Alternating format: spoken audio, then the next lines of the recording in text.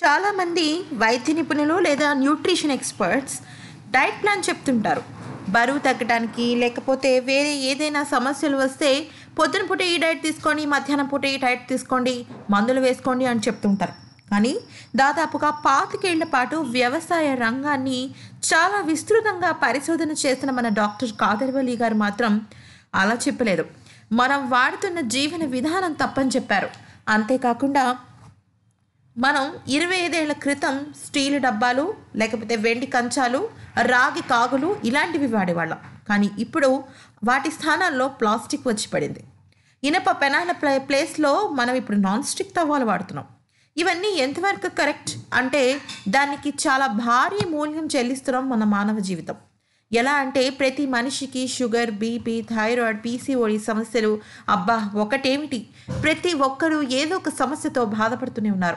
నిజానికి మరొక ముఖ్యమైన విషయం ఏంటి అంటే మనం తీసుకునే ఆహారం బట్టే మన మెదడు ఒక టెన్షన్స్ స్ట్రెస్ లెవెల్స్ ఆధారపడతాయన్న విషయం కూడా మన కాదర్వలి గారే చెప్పారు. ఇంకా విషయానికి వస్తే కాదర్వలి గారు చెప్పిన అతి ముఖ్యమైన దివ్య ఔషధం మన సిరిధాన్యాలు. చాలామంది సిరిధాన్యాలు తింటే అంత బలం వచ్చేస్తుందా అంత ఆరోగ్యవంతరం అయిపోతామా అని తిరిగి ప్రశ్నిస్తూ ఉంటారు. కానీ అసలు విషయం ఇప్పుడు నేను తెలుసుకుందాం. మనం రెగ్యులర్గా తీసుకునే వరి అన్నం లేకపోతే గోధుమ చపాతీలు గోధుమ పిండితో చేసిన పదార్థాలు లేదా వరి బియ్యంతో చేసిన పదార్థాలు తీసుకోవటం వల్ల మన శరీరంలో తెలియకుండానే అత్యధికంగా పిండి పదార్థాలు వెళ్ళిపోతున్నాయి.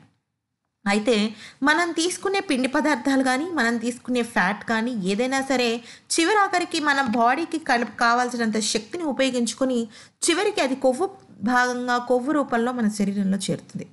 అయితే ఇక్కడ ఈ సిరిధాన్యాల్లో అత్యద్భుతమైన పీచు పదార్థాలు ఉన్నాయి. ఈ పీచు పదార్థాలు ఏం చేస్తాయి అంటే మన కొవ్వుని కరిగించడంలో ప్రధానమైన పాత్రని పద ప్రధానమైన పాత్రను పోషిస్తాయి. ఇక విషయానికి వస్తే చాలామందికి తెలిసిన విషయం చాలామందికి తెలియని విషయం ఏంటి అంటే గ్లైసిమిక్ ఇండెక్స్. అంటే ఉదాహరణకి మనం ఓ మధ్యాహ్నం పూట భోజనం చేసామనుకోండి వరి బియ్యంతో భోజనం చేసిన తర్వాత అది అరగడానికి మనకి చాలా సమయం పడుతుందా? లేకపోతే రెండు గంటల్లో అరిగిపోతుందా? ఎక్కువ సమయం ఏం పట్టదు. అంతేకాకుండా వరి బియ్యం తినంగానే దాదాపుగా చాలా కొద్ది సమయంలోనే కరిగిపోయి అంటే అరిగిపోయి అది కాస్త రక్తంలో చేరిపోతుంది. అయితే అంత త్వరగా గ్లైసమిక్ కలిసిపోవటానికి దాన్ని గ్లైసమిక్ ఇండెక్స్ అంటారు. ఎంత నెమ్మదిగా రక్తంలో కలిస్తే అంత ఆరోగ్యం మన శరీరానికి. ఇక అంతేకాకుండా వాటిల్లో ప్రధానమైన పాత్ర పోషించేది మన కొర్రలు. కొర్రలు అసలు కొర్రల గురించి దాని యొక్క ఉపయోగాల గురించి చెప్పాలి అంటే ఒక వీడియోనో లేకపోతే ఒక పుస్తకమో సరిపోదండి. మనకున్న ప్రతి ఒక్క సమస్యకి కొర్రలు చాలా ముఖ్యమైన విషయం. మరి కొర్రలో ఎలా తీసుకోవాలి అంటే ఏ రూపంలో అయినా తీసుకోవచ్చు.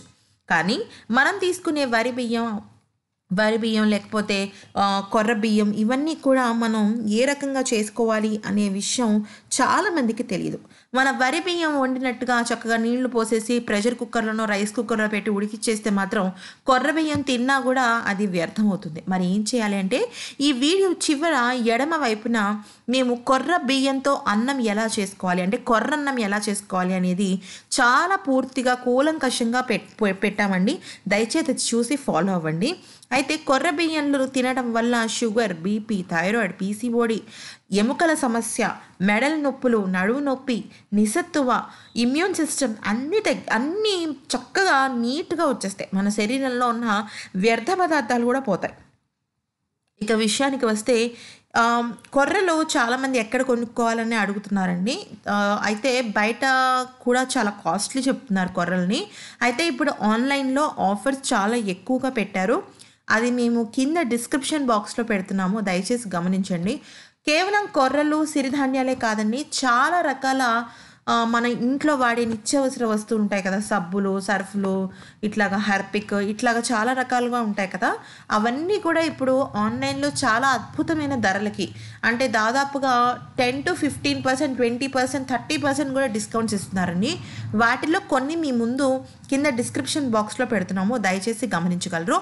ఇప్పుడు మీకు ఎడమ వైపు కనిపిస్తున్న కొర్ర బియ్యంతో అన్నం కొర్ర అన్నం తయారీ విధానం కూడా దయచేసి చూడండి.